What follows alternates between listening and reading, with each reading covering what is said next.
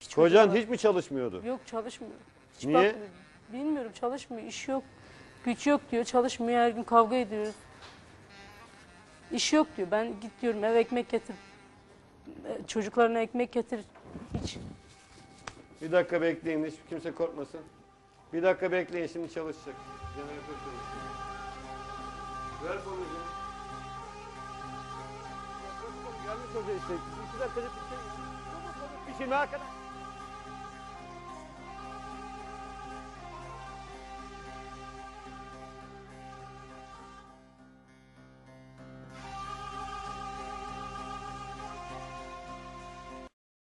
Evet sevgili izleyenler az önce elektrik idaresinden kaynaklanan bir elektrik kesintisi oldu.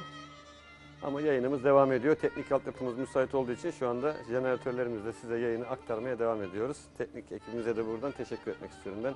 Yayını hiç aksatmadıkları için hala da şehir enerjisi Keşikli'nde şu anda. Buradan da yetkililere duyurulur.